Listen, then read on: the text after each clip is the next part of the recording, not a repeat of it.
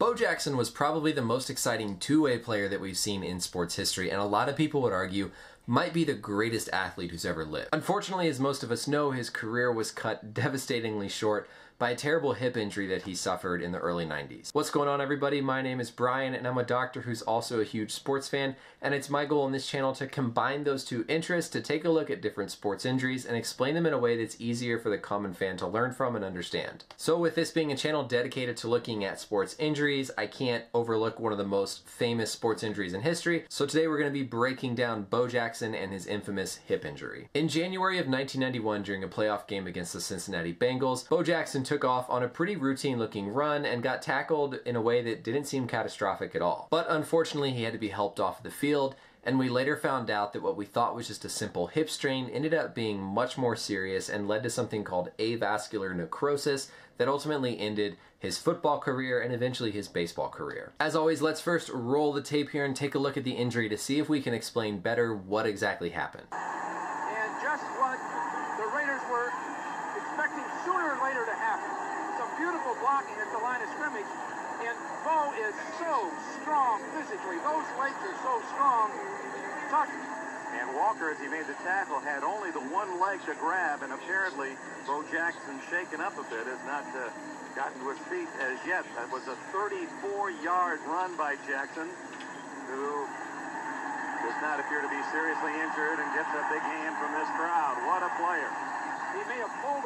So looking at just the actual play itself, nothing really looks that severe or looks that traumatic compared to some of the stuff we see. But if we look at this particular image, you can see how awkward it kind of looks like that hip is in relation to the leg whenever he's kind of planting before getting tackled. Supposedly after all this happened, Bo Jackson came out and said that his hip had dislocated and that he had popped it back into place on the field. Let's next take a look at some anatomy to better understand the hip joint and the structures involved here. So here we have our basic hip joint.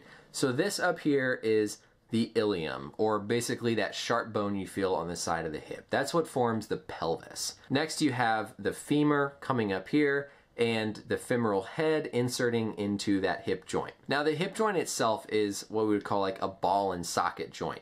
So you basically have the head of the femur and the socket of the hip that it goes into and is very, very firmly secured. That socket that the hip goes into is called the acetabulum, and then of course we have the head of the femur right here. Now unlike something like the shoulder joint, that's sometimes thought of as like a ball on a tee and very loose and unstable, the hip joint is probably the hardest joint in the body to actually dislocate, which makes it seem like it probably wasn't a true hip full dislocation that happened to Jackson. If we take a look at this other model here, we can see in the hip joint just all of these ligaments and structures that surround the hip joint itself to keep it firmly in place. So typically we only see hip dislocations where the ball actually completely comes out of the socket in very high speed, traumatic things like motor vehicle accidents. What's probably more likely to happen in the case of a football player is a hip subluxation. So that means that the hip partially comes out of the socket but doesn't fully dislocate. If you think of the head, my fist as the head of the femur and this is the socket, it's in there and instead of coming completely out, it basically comes out and kind of sits on the rim of the hip socket. Typically these hip subluxations happen whenever someone lands with the hip flexed up, bent in a little bit, and then rotated. And that's kind of similar to this image of what happened with Jackson here on the injury. You can imagine as that leg is planting, all that force that's shifting backwards to ultimately cause that hip joint to dislocate posterior or backwards out of the hip socket. Whenever you get a hip dislocation, there's three main things that happen that can ultimately explain why you're at risk for something like avascular necrosis, which we'll talk about in a second. Whenever that head of the femur dislocates, it pushes on the rim of the hip joint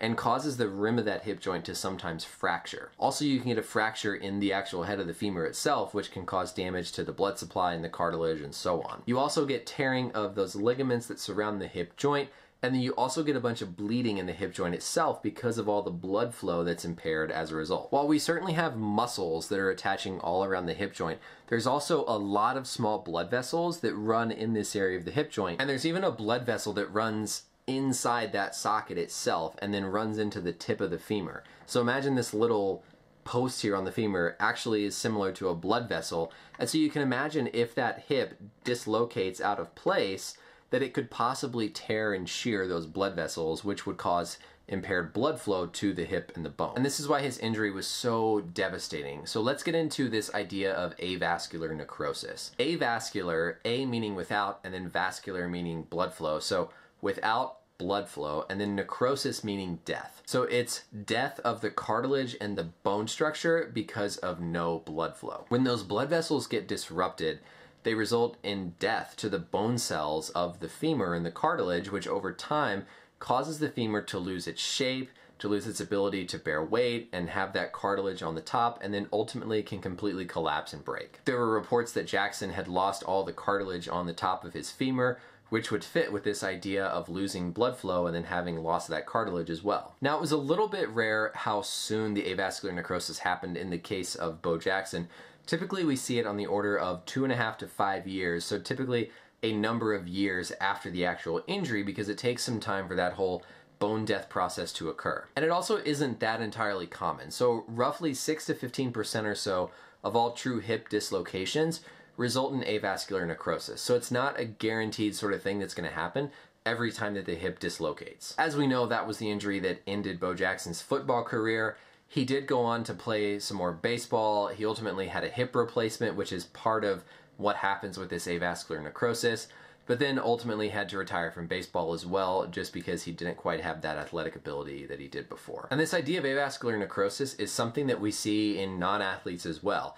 It can happen for a number of different reasons, and actually, in the general population, the most common cause is alcoholism. So, whenever you drink too much alcohol, it impairs the metabolism and blood supply in the hip joint, which can cause that decreased blood flow and bone death. So we see it more frequently in the non-athlete population than we do in athletes, so it's something that most doctors are taught in medical school as well. But nonetheless, unfortunately, a really devastating injury to one of the best athletes who ever lived, but I hope that was educational to understand a little bit better about what happened with Bo Jackson's hip injury. Thank you for watching everybody, and we'll see you in the next one. Bye.